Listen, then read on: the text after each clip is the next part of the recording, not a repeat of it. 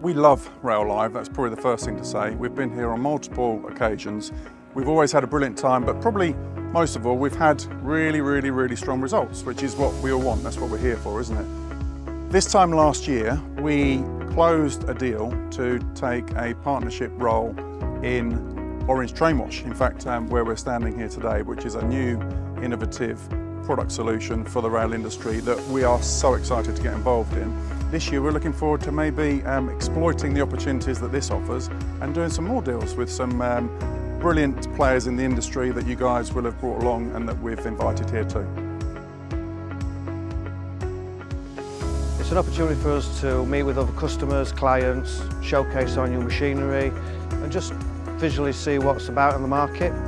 An opportunity to catch up with, with suppliers because it's like once a year we, we can bond together and sort of meet um, the other plant companies and just see what's on the market.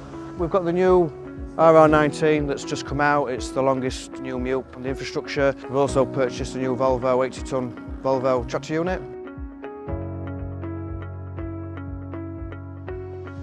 Rail Live is the biggest UK rail show and it's fantastic for us to meet with old friends and display our innovative products like the 25 tonner that's new and you know, get some good feedback from the industry. It's always a busy few days and we're expecting a lot of footfall. We celebrate all things rail.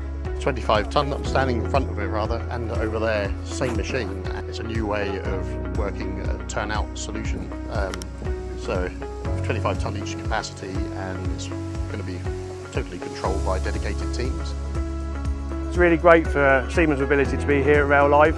We're really passionate about how we can reduce the cost of electrification to the railway uh, and demonstrate what we can do for the passenger as well. So we've got two stands. This one here is our electrification stand. So we're showing our air insulated switch gear and some of the things that we've got innovation around which can actually help you electrify the railway, reduce the cost and reduce the decarbonisation, so the passenger benefits. And on our other stand, we're talking very much around that first to last mile. So we really want to be here to sort of be able to show what's available.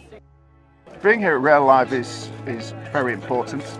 It's the major show in the UK of the year. It's the only show that we really value uh, in the United Kingdom. So we do shows all over the world, in obviously InnoTrans and, and uh, Australia, America.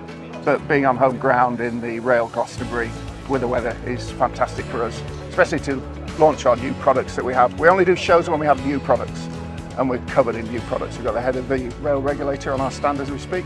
So it's good times. It's bringing people to see those new products, those innovations. Um, Network Rail keeps talking about driving efficiencies and doing less with more. We can prove on our stand that investing in those really worthwhile, sustainable products that's sustainable in every sense.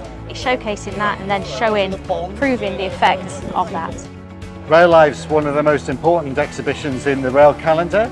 We get a great load of visitors from lots of disciplines across the railway and that's excellent for positioning our products which are across signalling, infrastructure, overhead line and great technology that really improves the performance of the railway so we can talk to people here about how we can help them improve their performance. This gives us the opportunity to meet a lot of local clients. So our focus is UK, Ireland area, Northern Ireland. So here is the best spot to meet all of them. So we see all our existing clients and hopefully a lot of future clients interested in the technology. Today was already great, so we did a lot of good contact. So we hope tomorrow it will be the same or maybe even better. Let's see.